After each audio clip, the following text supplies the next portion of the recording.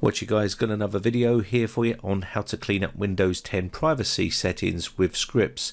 This will also remove any sort of bloatware or anything like that. It will completely get your Windows 10 exactly how you want it. The trouble is using scripts is very very dangerous and it's very a powerful way of doing things. So you need to understand a little bit about how scripts work and how to read them otherwise you can run into big trouble. That's why I've put this disclaimer up on the screen to make sure you read it and you understand you're doing this at your own risk. Now before you start running any sort of script you want to make a system restore point by typing system restore in the search box and then create restore point. Now by default system restore is turned off so you will need to configure this and turn it on. Now once it's turned on you'll be able to then create a restore point. So I'm just going to give it a bit of storage here. You can give it how much you want. Apply and OK and then we can click the create a system restore point. Now we need to give it a name and I'm going to call this before privacy change. And this will let me know that this was before I did any sort of privacy changes when running that script. So we're going to apply that and let that create our system restore point. That's it, we're done there.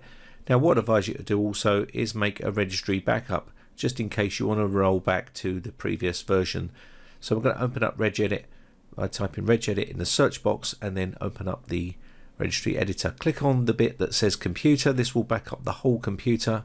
Go file and export and give it a name. You can call this whatever you like. You can call it the same as what you uh, just named your restore point before privacy change. Whatever you want to do here just type in what you want to call it and then save it in a location. Now a good place to normally save these is in the C root directory. That way you know they're in a place there. But that's now backed up. So we've got two restore points created here which we'll be able to revert back if we want to. Now once that's all done you can just check to make sure that you do have your registry back up and we already know that we've got our system restore point done. And then you want to really back up all your data before you continue messing with your PC just in case something goes wrong. So make sure you back up all of your data. Now we can look at our privacy settings. You can see by default they're all turned on and if you've got these all turned on you can manually go through here and turn these off. Now if you're not familiar with scripting or how scripts work then I'd advise you to do this manually by yourself because scripts on the internet can be very powerful and very dangerous if you don't know what they're going to be doing. You can see here you can download Windows 10 debloater scripts.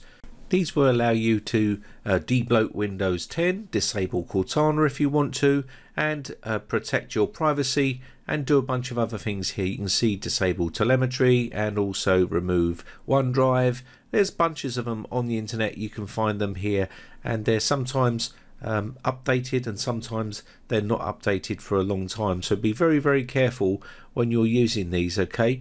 Now the reason why I don't like leaving links to scripts because when people run them it could mess up their system and then they'll come flying back to my channel saying you broke my PC it now has disabled uh, this. I can't get this working. So that's because they don't understand how to read a script and know what this script is going to be changing on the system. It will make massive changes to the operating system. So be very very careful when you're running scripts if you don't know what it's disabling. There may be settings that you don't want to be disabled and because it's a script it won't give you uh, do you want to disable this?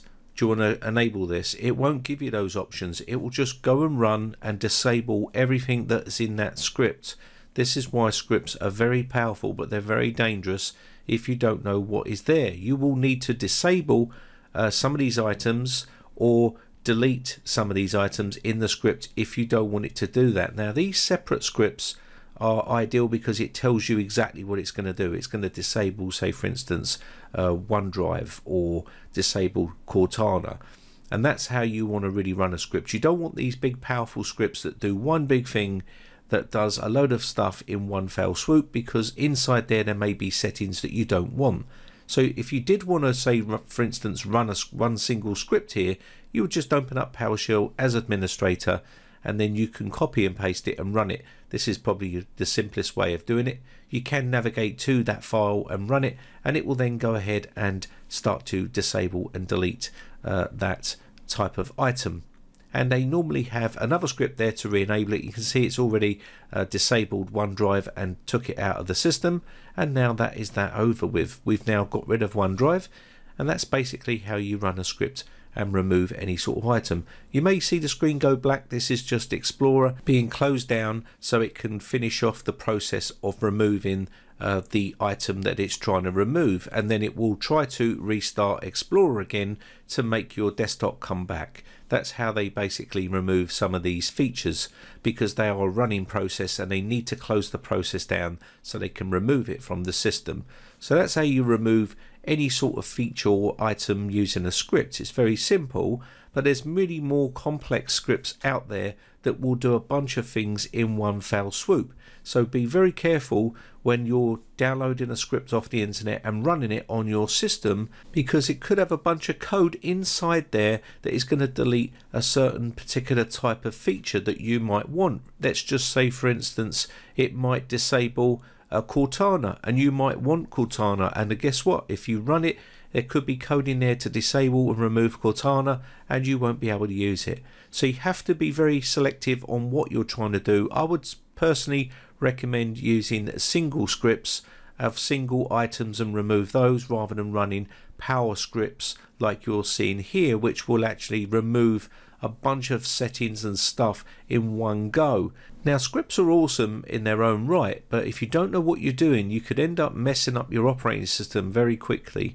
So you have to know what you're doing when using scripts. The problem with scripts are you have very little control over what the script is going to do. Once you execute it, it will follow it right to the end and it will start removing um, features from your system and deleting stuff and you won't know what that is unless you know how to read scripts properly. So be very, very careful when running scripts off the internet because it may be disabling and deleting features that you wanted to keep.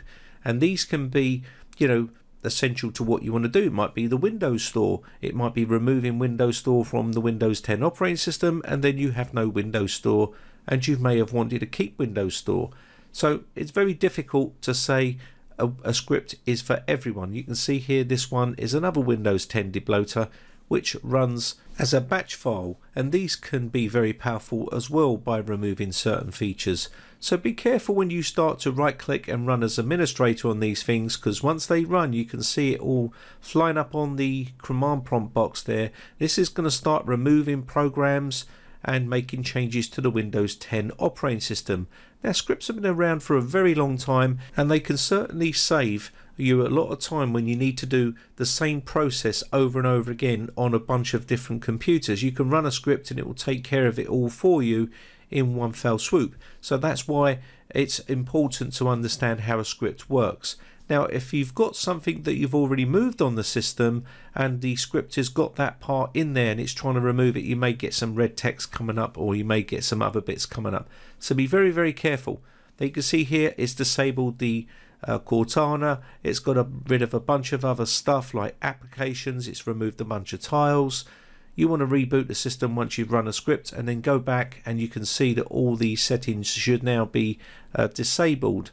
So let's just quickly go into uh, the settings pane here and we'll take a look and see uh, what the settings have been changed like. So let's go into privacy here and inside here you'll see it's disabled a bunch of settings already and it saves me a bunch of time but it may have also made a bunch of changes inside the services area and other places on your Windows operating system and you might be making changes to some of the stuff that you didn't want it to change. You can see it's removed a bunch of applications from here and it will do if it's in the list of that script when you run it. So do I recommend that people go and download scripts off the internet and run them? The short answer to that is no, you shouldn't do that because you don't know what that script is going to be doing and if you don't know anything about coding or scripting or anything like that then you want to leave these things well alone.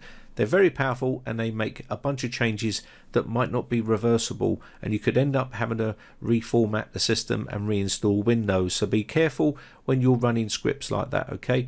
And also um, there's plenty of programs out there that will do these jobs in a much more safer way and you can visually see on a GUI interface on how to uh, make changes to these things. Also some of these services have been stopped or disabled and you might need some of those services to do certain things on your computer and you've got no control over it when running a script so if you're looking to do something very quickly and you've not got the time or effort to put in to learn how to use scripts, then leave them well alone. Uh, I would say stick to uh, things like Shutup 10 and programs like that and leave these to the experts or advanced users. Okay. Now, I won't be leaving any links for these scripts in the video description just because I think they are just too dangerous to leave links to, especially when people could just run them and damage their system. But if you do want to find them, they're pretty easy to find on the internet. And if you can't find them, then you probably shouldn't be using the script in the first place. That's my personal opinion. Anyway, my name has been Brian from briteccomputers.co.uk. Hope this one has been useful to you and hope you enjoyed it. I shall see you again for another video tomorrow. Bye for now. Now, if you haven't subscribed yet, hit the red subscribe button and hit the bell notification button and click all to be notified when we upload new videos.